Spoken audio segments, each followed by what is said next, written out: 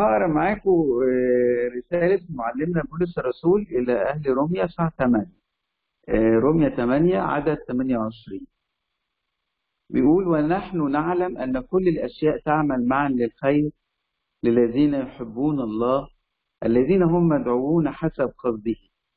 لأن الذين سبق فعرفهم سبق فعينهم ليكونوا مشابهين صورة ابنه ليكون هو ذكرا بين إخوة كثيرين. والذين سبق فعينهم فهؤلاء دعاهم أيضا والذين دعاهم فهؤلاء بررهم أيضا والذين بررهم فهؤلاء مجدهم أيضا مجدا للثالوث القدوسية آه، في ظل الظروف اللي إحنا بنمر بيها أو بلادنا كلها بتمر بيها بيحتاج الواحد يبقى يعني عايز حد يشدده أو يساعده أو يخليه قوي في وقت ما الناس كلها ضعيفة في الأيام دي. طب أنا أعمل إيه يعني؟ وسط كل ال- الظروف الصعبة أعمل إيه؟ بولس الرسول قال كلام جميل قوي بيقول نحن نعلم يعني إحنا عارفين. ومحدش يقدر يقول كلمة نحن نعلم غير اللي يكون جرب بمعنى إيه؟ لو حضرتك بتكتاس أو بتمشي في موضوع وفي مشكلة موجودة وبعدين المشكلة دي اتحلت بس بطريقة مش على مزاجك يعني اتحلت أو مش كلمة على مزاجك يعني يعني ما كنتش متوقع إن هي تتحل بالطريقة دي. فحضرتك بتبقى مفاجئ إنه إنه إزاي اتحلت. فبتاخد خبرة إن ربنا يعرف يحل مشاكل أنت ما تعرفش تحلها. ولو شلنا ربنا من الدنيا آه، ربما الدنيا دي تبقى خرابة أو حاجة وحشة جدا. يعني نفسنا إن الناس لو الناس قعدت تصلي وتطلب ربنا ربما ربنا يرشد الأطباء لحل سريع زي مثلا الكورونا فيروس وكده. عايز أقول إنه آه، يعني بولس الرسول بيقول إحنا عارفين نحن نعلم. يعني ده زي واحد عنده خبرة. آه، زي مثلا واحد ماشي في سكة وبعدين حصل إنه طريق صعب. فاللي راكب جنبه بيقول له يا عم ده طريق صعب. يقول له لا ما يهمكش. أنا بروح المشوار ده كتير قوي وعارف إن هنوصل. ما تخافش أنت خايف عشان دي أول مرة تيجي فيه فلما الكتاب يقول نحن نعلم يعني إحنا عارفين. عارفين إيه؟ أن كل الأشياء تعمل معا للخير. يعني إيه كل الأشياء تعمل معا للخير؟ جايز حضرتك شايف مشكلة ومشكلة ساعات ناس كده بيوت كده تحصل فيها مشاكل كتير. آه، بابا تعبان آه، مش عارف أخويا حصل له إيه. وبعدين مشاكل دي جنب بعض وتقول إيه ده؟ إيه ده؟ إيه اللي الواحد عايش فيه ده؟ فربنا يرد علينا برد جميل قوي يقول لك إيه؟ يقول لك إنه عارف كل الحاجات دي اللي أنت شايفها مشاكل لما تحطها مع بعض تخرج منها حاجة كويسة. أديكم مثال يعني كان قريت قصة جميلة. آه، عارفين ال- الشيف اللي هو بيعمل أكل في المطبخ أو في الفندق؟ الشيف ده مش مميز في حاجة. مميز في حاجة اللي بيسموها الصوصز اللي هي الحاجات ال- اللي بيتحط على الأكل. يعني لحمة أنت بتاكل لحمة في أي حتة خضار بتاكل خضار في أي حتة. بس يقول لك المطعم ده فيه فليفر كده غريب شوية. بتبقى دي تميز عند الشيف نفسه اللي عارف يعمل الأكل بالطريقة دي.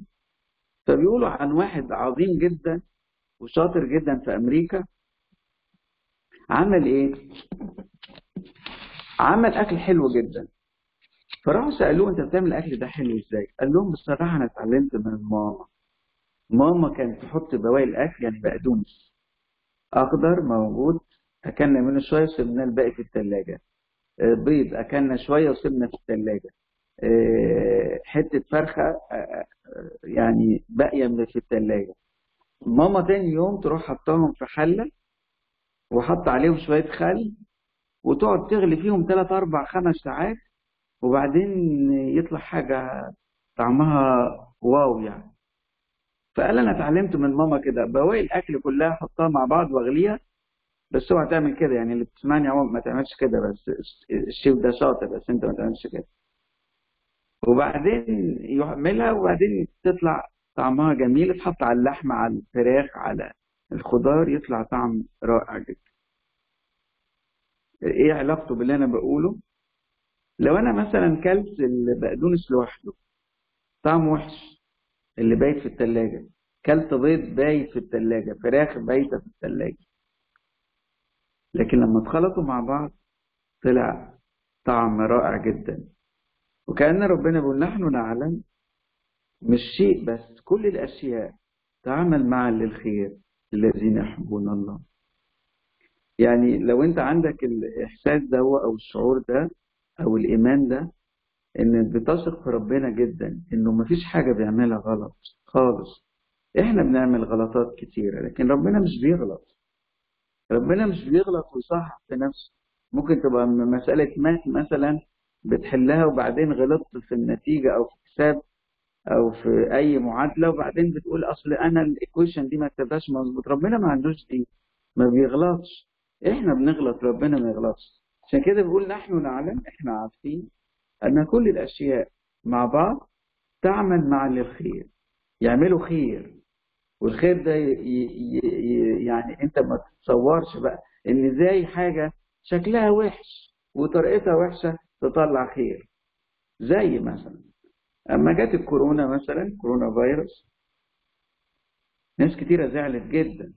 طيارات وقفت جامعات وقفت مدارس وقفت سياحة وقفت شغل وقف الناس لكن الكورونا فيروس عملت حاجات جميلة جدا جدا في البيوت.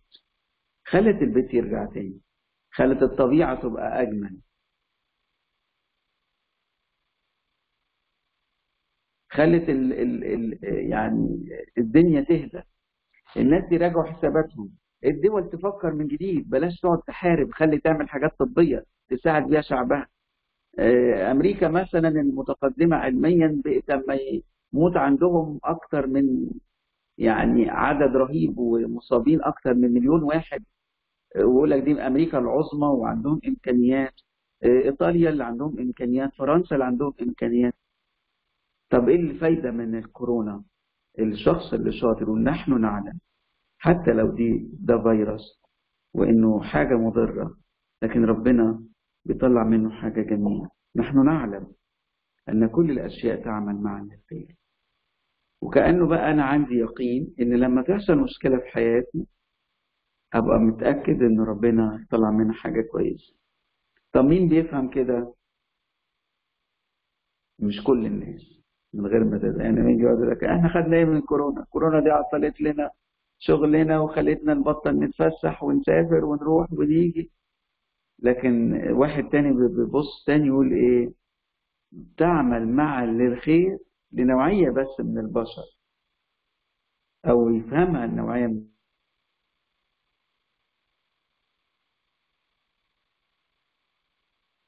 ربنا هم واخدين بالهم كويس قوي إنه الموضوع ده ربنا عامل مصر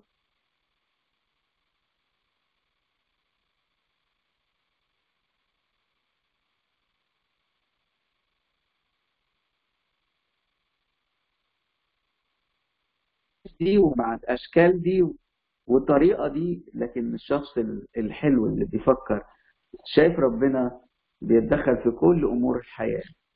ربنا عنده إمكانية حتى لو ده شر حتى لو ده حاجة وحشة. ربنا يحولها لحاجة جميلة جدا جدا. شمشون قال مثل حلو قوي حابب أشارككم بيه. شمشون في العهد القديم قال كده فزورة للناس وقال لهم أنا عايز أقول لكم حاجة. إزاي حاجة بتاكل زي الأسد يطلع منها حاجة حلوة؟ إزاي الأسد ده تاكل منه حاجة حلوة؟ يقول من الآكل اللي بياكل المفترس من الآكل خرج اكل ومن الجافي حلاوة. فزوره الناس ما عرفوش يحلوها في أيام شمشون. وكأن ربنا يقول لك دي فزوره تعرف تحلها؟ آه ربنا بيعرف يدي طعم جميل لحاجة مش طعمها مش حلو. عندنا في مصر أنتوا فاكرين طبعا؟ في مثل عندنا في مصر يقول لك فلان ده يعمل من الفسيخ شربات. فاهمين المثل ده؟ يقول لك فلان ده بيعمل من الفسيخ. عارف ريحة الفسيخ؟ الروتد فيش ده الفسيخ اللي طعمه وحش والإكسباير يطلع منه حاجة حلوة إزاي؟ واحد بيعمل من الفسيخ شربات شربات اللي هو زي الجوس وكده. عصير وطعمه حلو. إزاي يعني يقول لك لا في واحد بيقدر يعمل كده. مفيش ولا بشر في مصر ولا واحد من البشر في مصر عمل من الفسيخ شربات. لكن المسيح إلهنا عمل حاجات جميلة جدا. آه شكله فسيخ لكنه طلع منه طعم جميل جدا جدا جدا.